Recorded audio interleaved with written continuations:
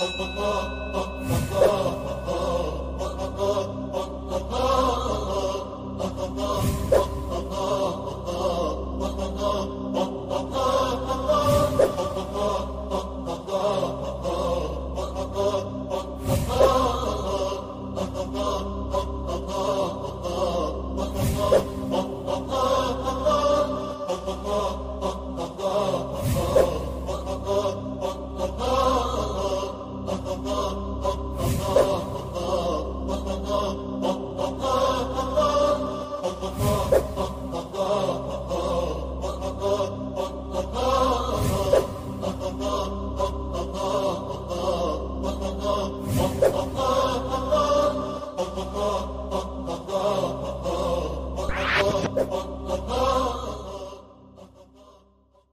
بسم الله الرحمن الرحیم ای نام تو بهترین سراغاز بی نام تو نامکی کنم؟ باز. شاگردای خوب سنف هشتم. سلام. همراهان خوب برنامه دریچه دانایی وقتتان بخیر. امیدوار هستم که حال همه شما عزیزان خوب باشه و روزگارتان خوش باشه. درس گذشته ایتان به خوبی خوانده باشید. و با آمادگی کامل امروز آمدین پای ویدیوهای ما نشستید و ما مهمان خانه های شما شدیم. خب شاگردای خوب ما ابتدا بریم و درس گذشته را یک مروری به نکات مهمش داشته باشیم و پس از او بیایم و یک فایلم جدیدی از حیوانات یاد بگیریم و بشناسیم. خب شاگردای خوب صنف هشت جلسه گذشته ما و شما طبقه بندی حیوانات با یکدیگر آغاز کردیم و اسفنج ها را به عنوان اولین فایلم این حیوانات با یکدیگر خواندیم. سوال اول فایلم کردتا متعلق به حیوانات فقاریه هست.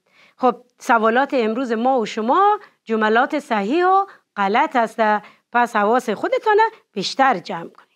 خب ما در جلسه گذشته گفتیم ما از نه فایلم حیوانات فقط یک فایلم جزو حیوانات فقاریه بود و هشت تای دیگه در حیوانات غیر فقاریه. خب فایلم کردتا متعلق به حیوانات فقاریه هست. این جمله ما و شما صحیح هست. سوال دوم فایلم مفصلیه به حیوانات فقاریه متعلق است. آیا متعلق به حیوانات فقاریه هست؟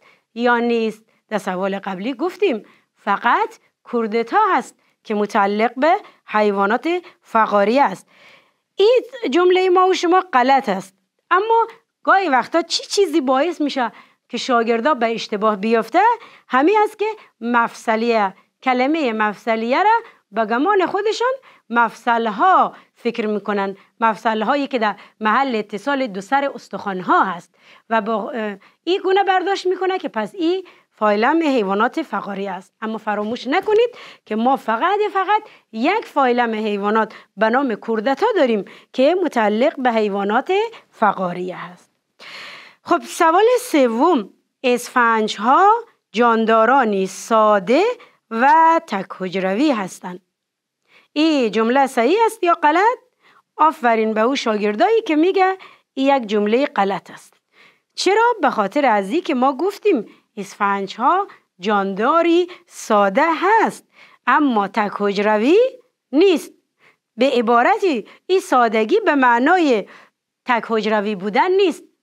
در جمله درس گذشته ما گفتیم جاندارانی مقلق و کثیر الحجروی هست. مغلق بودن یعنی پیچیده اما در گروه جانداران از همه ساده تر است. در حیوانات غیر فقاریه از همهشان اسفنج ساده تر بود. اما خود این موجود یک ساختار مقلق و کثیر الحجروی داره تک حجروی نیست. سوال بعدی اسفنج ها در دوره جنینی ساکن و در بلوغ با حرکت می‌کنه کیا میگه این جمله غلطه؟ آفرین به اونایی که میگه غلطه. مشخص هست که خیلی خوب دقت دارید. چرا؟ ما و شما در جلسه گذشته گفتیم اسفنج ها در دوره جنینی با موژه حرکت می‌کنن. اما زمانی که بالغ شدن دیگه در هر جایی که مناسب باشه ساکن میشن و دیگه حرکت ندارن.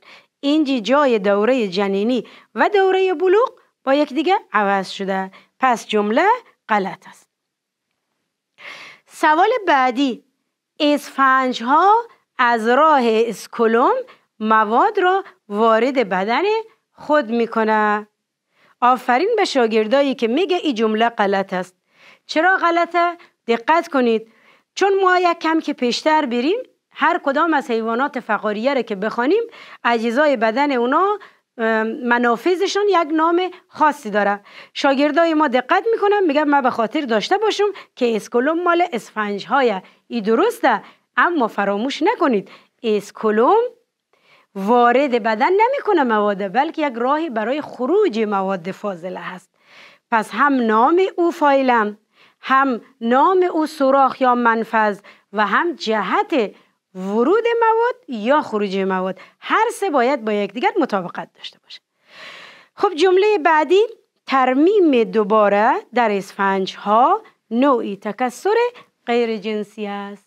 این یک جمله کاملا صحیح است. اسفنج ها دو نوع تکسر داشتن هم تکسر جنسی و هم تکسر غیر جنسی. که اشاره شد ترمیم دوباره یعنی اگر یک بخشش یا یک قسمت از ساختمان بدن خود اسفنج آسیب ببینه و جدا بشه و قطع بشه حجرات همون منطقه حجرات سالم باقی مانده او بخش مجددا ترمیم می‌کنه. این یک نوع تکسر غیر جنسی است.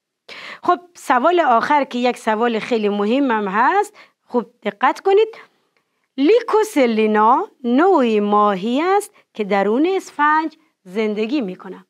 خب ما و شما می‌دانیم که لیکوسلینا در درس گذشته بود. اما باید به خاطر داشته باشیم که ما نگفتیم لیکوسلینا نوعی ماهیه بلکه چی گفتیم؟ گفتیم لیکوسلینا اسفنجی هست که ماهی به داخل آن زندگی می‌کنه. پس این جمله ما و شما غلطه چون لیکوسلینا را گفته یک نوع ماهیه که درون اسفنجه. در صورتی که خود همو اسفنج اسمش نامش چیه؟ لیکو سلینا که ماهی به داخل از او زندگی می‌کنه. خب شاگردای خوب صنف هشتم امروز با یک فایلم دیگه از حیوانات آشنا میشیم. حیوانات غیر فقاریه به نام کیستنان در کتاب های علمی عکس این حیوانات زیاد دیدید. در فیلم های علمی ویدیوهای علمی هم شما این حیوانات بسیار زیاد دیدید. حالا نگاه کنید ببینید آیا تالا از این نمونه ها در داخل ویدیوها دیدید؟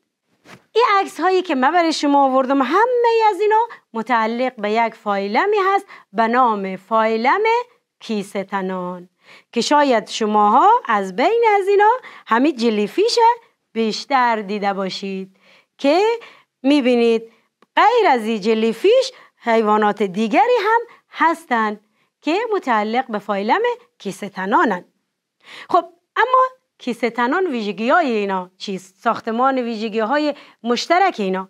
همه کیستنان در آب زندگی می‌کنن. مانند چی؟ اسفنج ها اما به خاطر داشته باشید که گفتیم اسفنج ها را زمانی که از آب بیرون می‌کردیم رنگ اونا تغییر می‌کرد.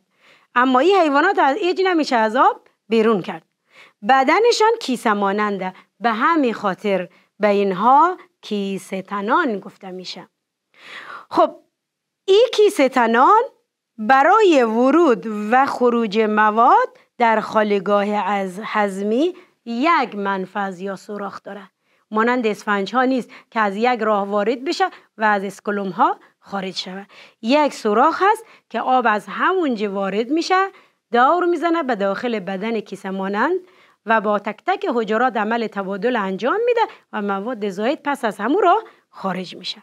خب اینجی در شکل هم ما و شما می‌بینیم که توسط فلش مشخص شده که این سوراخ دهان هست یا به عبارتی سوراخ یا راه ورود مواد. خب کیستنان چه حیوانات یا چه مثال هایی داره؟ این مثال ها هم بسیار مهمه. لیکوسلینا را که جلسه گذشته از اسفنج ها خواندیم اما از کیستنان ما موجودات به نام هایدرا مرجان ها شقایق بحری و جلیفیش نام می‌بریم. پس چهار تای دیگه امروز یاد گرفتید. هایدرا مرجان ها شقایق بحری و جلیفیش ها هر چارتای این حیوانات متعلق به کیستنان هست. اگر شکل دادن و نام فایلم خواستن. شما از ظاهر او باید تشخیص بدین. همونایی که بدن کیسه مانند دارن. تحت عنوان کیستنان یاد میشه. که انواعش در این تصویر می‌بینین. اما یک یک اینا رو می‌خوانیم که اینا چی هست.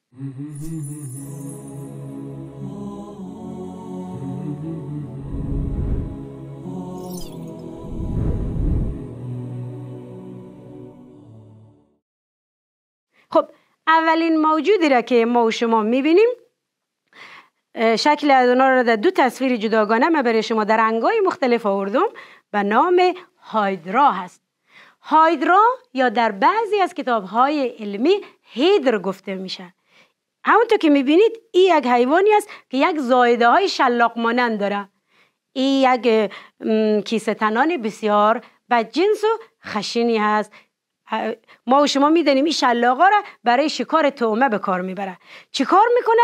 ای هایدرا زمانی که به تومه نزدیک شد توسط همه قسمت های شلاق مانند خودش او تومه را می‌گیره و شلاقه های خود به داخل بدن تومه فرو می‌بره و از طریق همین شلاق زهرهایی که در بدن خود تولید شده را به بدن تومه انتقال میده و او تومه ای که به عنوان غذا او را گرفته بیهس میشه و توسط همین شلاقا او تومه را میاره و به داخل یا به اطراف سوراخ دهان هدایت می‌کنه و میبلعه. بسیار جالب بود. هیچ به شکلش نمی‌خوره که اینقدر یک موجود به جنسی باشه خب این یک حجرات گزنده داره. فراموش نکنید که این حجرات گزنده موقعیتش در بخش های شلاق ماننده. اگر در سوالات کنکور یا جملات صحیح و غلط بیایه حجرات گزنده هایدرا در همون ساختارهای شلاق ماننده. خب این شلاق ها را به داخل این حجرات و شلاق ها را به داخل بدن تومه فرو می‌کنه یعنی بدن تومه را سوراخ می‌کنه و زهر وارد و سپس بیهس و او را به به سمت سوراخ دهان خود هدایت می‌کنه و میبلعه. ای هایدرا بود. اما به یک تصویر بسیار زیبا و قشنگی را می‌بینیم. ما و شما که در ته دریاها و اقیانوسها ما اینا را در فیلم ها و ویدیوهای علمی هم ما و شما زیاد دیدیم. حالا امروز ما و شما هیچ گمان نمی کردیم که اینا متعلق به فایلم کیستنان باشن. چرا که اینا بیشتر به صورت یک تپه های بلند در کف دریاها هستند اما من امروز برای شما بگم که اینا در هر دریایی وجود نداره. بلکه در دریاهای گرم در مناطق سواحل دریاهای گرم در عمقش یا در بستر دریاها قرار داره. اما اینا چگونه به وجود می آید ما یک سری کیسه تنانی به نام مرجانه ها داریم که همونطور که در تصویر می بینین شکلهای بسیار متنوع و رنگ های بسیار متنوعی را دارند. اینها پوسته از اینا در واقع چون اینا حیوانات غیر فقاریه هستند استخوان یا اسکلت درونی ندارن بلکه اینا اسکلت بیرونی یا خارجی دارن. یعنی یک پوسته سختی. که جنس پوسته از اینا بیشتر از نوع سیلیس هست از نظر علمی و به نام اسکلت های آهکی یاد میشه. زمانی که خود مرجانه ها میمیره و دیگر اجزای بدن اونها توسط تجزیه کنندگان آب تجزیه میشه این اسکلت بیرونی اونا که از داخل دیگه خالی, میشه، خالی شده تهنشین میشه رسوب می‌کنه در کف دریاهای خشک در نزدیکی سواحل. اینا روی همدیگه میشینه و به مرور زمان تشکیل تپه های مرجانی را میده. خب در اطراف این تپه های مرجانی معمولا الجی ها خرچنگ ها صدف ها و ماهی ها زندگی می‌کنن. پس تپه های مرجانی به خاطر از اون موقعیت رنگ و تنوعی که داره و ساختارهای جالبی که داره مورد توجه ماهی های کوچک است صدف ها حتی خرچنگ ها هم دوست داره تمایل داره در همین قسمت ها زندگی بکنه. اما ما و شما از مرجان ها چی استفاده هایی می‌کنیم؟ مرجان ها برای ما و شما استفاده های زیادی داره اما به این شکل نه. اینا توسط دانشمندان جمعآوری میشه اینا تغییر شکل داده میشه و به صورتهای مختلف برای ما و شما در زندگی به کار میره. از جمله موارد مرجان ها که بسیار مورد علاقه خانم ها هم هسته یه که ای مرجان ها یک نوع سنگ ها یک قیمتی هست که در زیورالات به کار میره. در نگین انگشتری در گردنبند و چیزهای زینتی که معمولا خانم ها بیشتر به او علاقمندن. اینها از بدن همو مرجان ها هست که گفتیم بسیار تنوع رنگ داره. زمانی که پوسته از اونا خودشان مرد و تجزیه شد و اسکلت آهکی اونا بر روی یکدیگر قرار می‌گیره و به مرور زمان فشرده میشه سخت میشه و تشکیل سنگ میده به نام سنگ های مرجانی یاد میشه. خب علاوه بر از که این سنگ های مرجانی در زندگی ما و شما از نظر زیورالات مورد استفاده قرار می‌گیره در سنگ در ساختمان سازی هم استفاده میشه.